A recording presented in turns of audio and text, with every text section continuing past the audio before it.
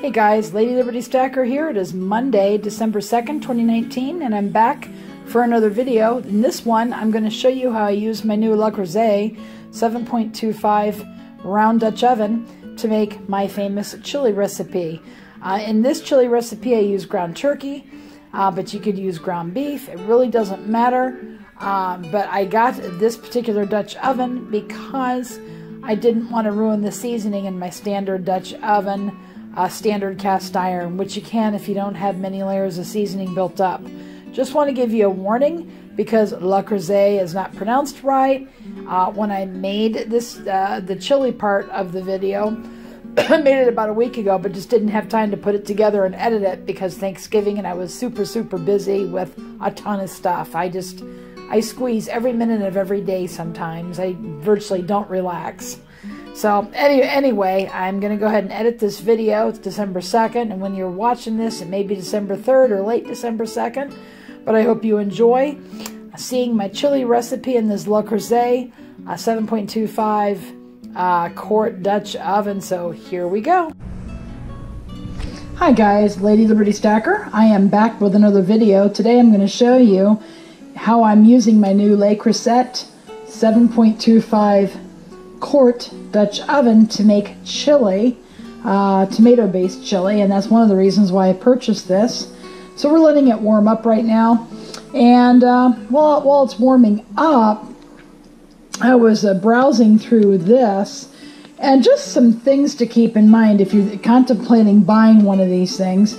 It says to uh, let it warm up and go ahead and spray your, put your oil your uh, butter, whatever you're going to use as your um, fat ingredient, go ahead and spray while it's warming up.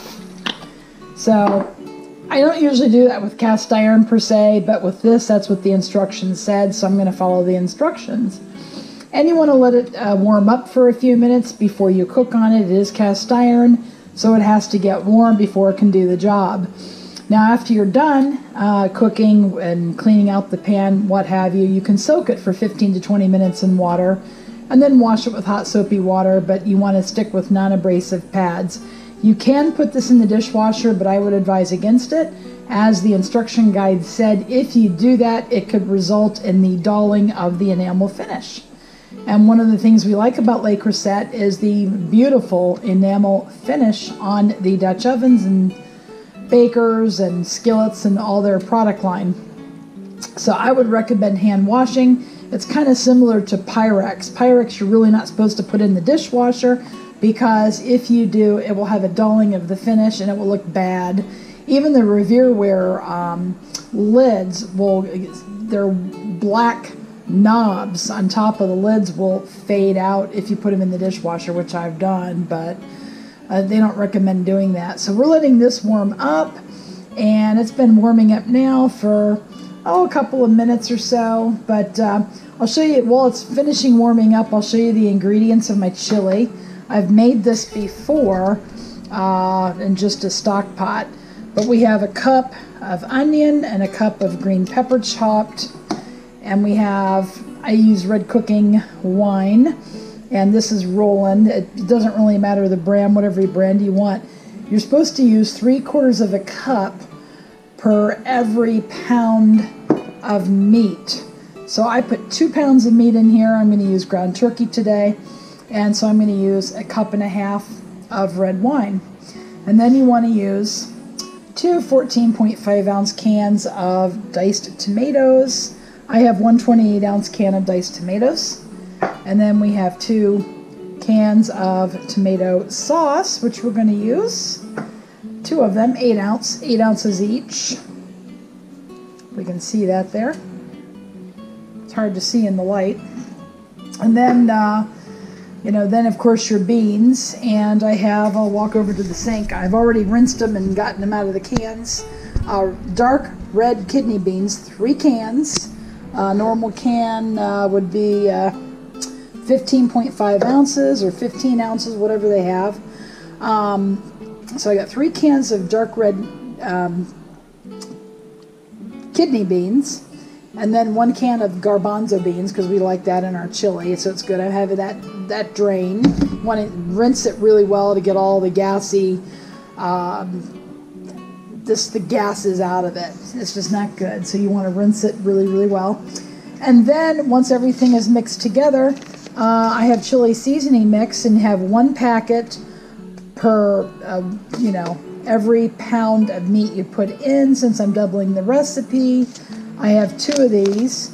Uh, the standard recipe just calls for one can of diced tomatoes, one 8 ounce can of sauce, one to two cans of dark red kidney, kidney beans, three quarters cup of um, red cooking wine, and one pound of meat, and a lesser quantity of onions and uh, green peppers. So anyway, I think it's it's getting warm, so we're going to go ahead and see what happens. We're going to go ahead and put these in. And you can hear the sizzle, so you know it's warm enough. It is cast iron, so you just want to let it warm up. We're going to cook these for two or three minutes, and we just want them to I'm going to spray a little bit more spray in here. I've never cooked in one of these before, so this is an experience. So I'm just kind of showing you how this is working. Put a little bit more, uh, and this is uh, organic canola oil cooking spray. Okay. And we're just going to cook it for a couple of minutes until it gets translucent and soft and we'll, we'll let that's cooking. We're going to go ahead and break out the meat. And this is a very uh, light, very lean turkey meat. I wouldn't advise this for turkey burgers because it's going to be too lean and it's going to be too tough. But for chilies, it's perfect. The way to have chili, of course you want to use hamburger, you can use hamburger. I'm just kind of showing you how I'm using the uh, Dutch oven for the first time. And it's cooking really nice here. And then as this simmers, you're really supposed to turn it down to medium to low medium heat because this is great for, this actually is great for slow cooking and simmering soups, which is really nice. So I'll go ahead and put that there. And just want to let it get soft. Cook it there and I'll be right back when I've added the meat. Alright, I'm back.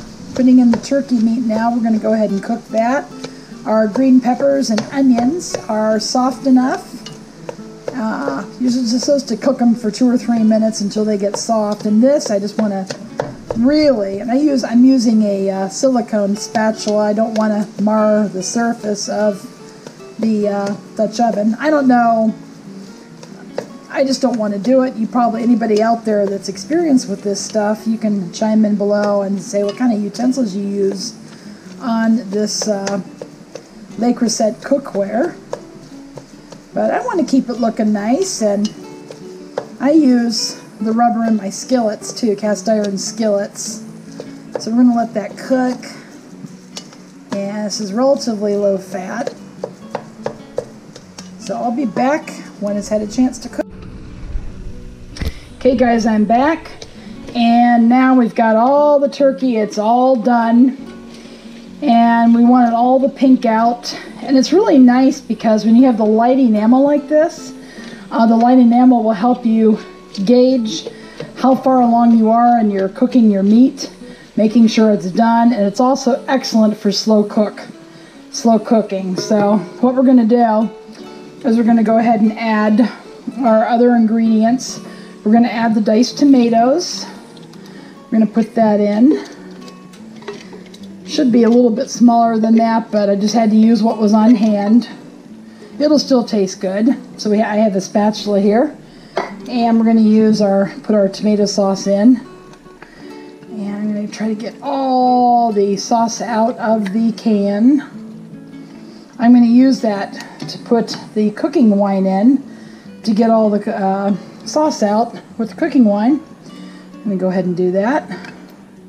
What's nice about this recipe is you don't really need a lot of spices because you're using your chili mix. Okay. All right. We got that. And now what we're going to do is we're going to take the red wine here, and then it calls for about a cup and a half. This is the secret ingredient.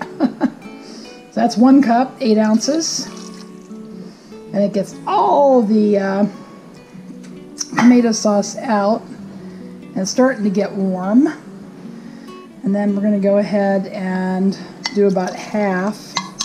We don't have quite enough, so we're going to open a brand new one. So you want about one and a half cups. You can kind of gauge it and look to see what it looks like. And it's about half full. Okay, we're going to go ahead and add that. Okay, and we're going to go ahead and mix all that up. And I didn't drain any of the fat out because this is extremely low-fat turkey. And fat, I think, will give it a little extra flavor. It's always good to cook on this stuff with a little extra fat anyway when you're cooking with cast iron. That's exactly what this is. One thing I like about this particular pot, it's round as opposed to tall.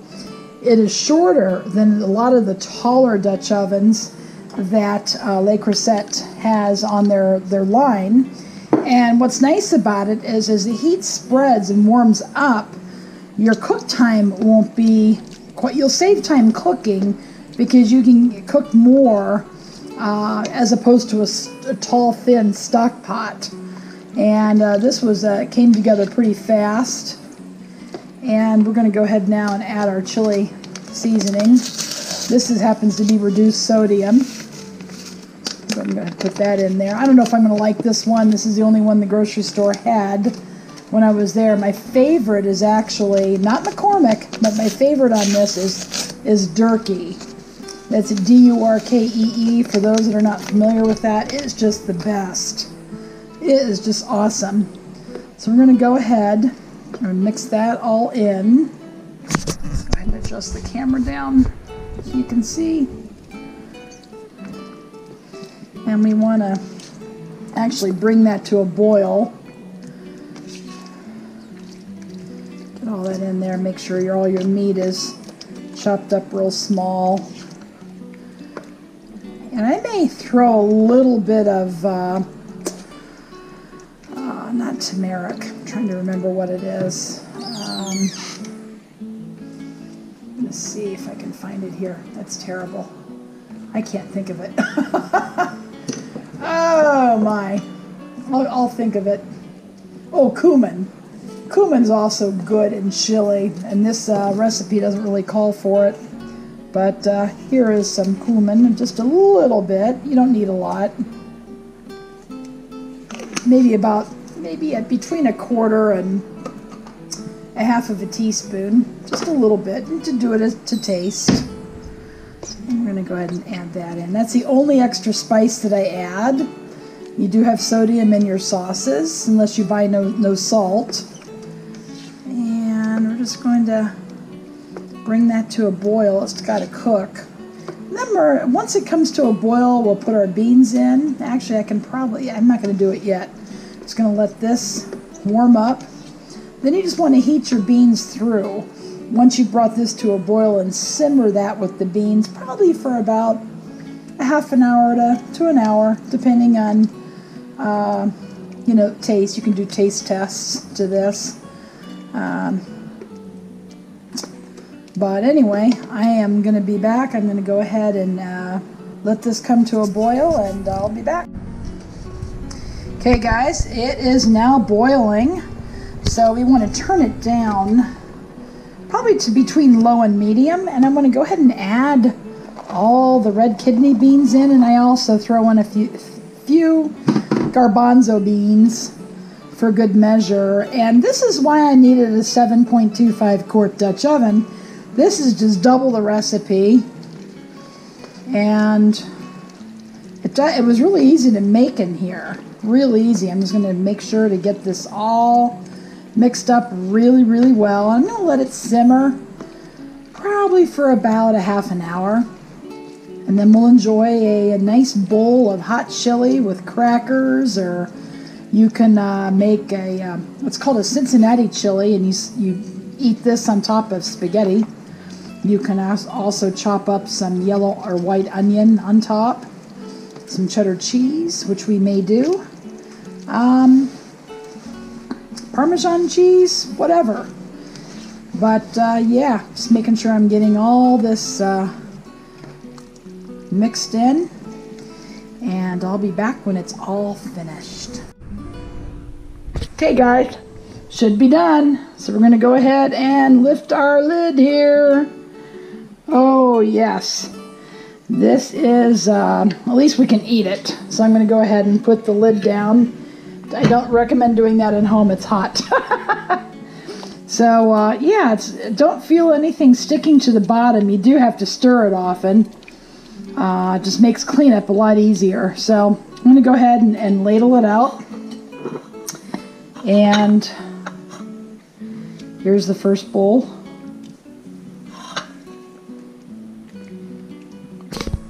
Move it up here so you can see a little bit.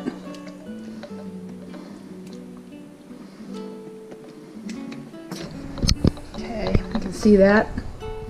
Beautiful, huh? Okay, and then we'll get the second bowl.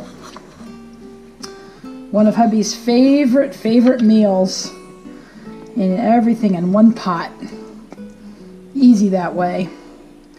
Okay, that's it. I'm going to go ahead and turn off the burner. And this thing will keep it nice and warm.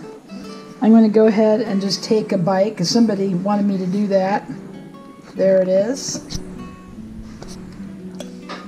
Mmm. Excellent. You can put cheese on, on top. We'll probably end up doing just Parmesan. And that's it, guys. So here it is. Success the first time out. Thanks for watching. Leave a comment or question below. Give it a thumb up and go make it a great day.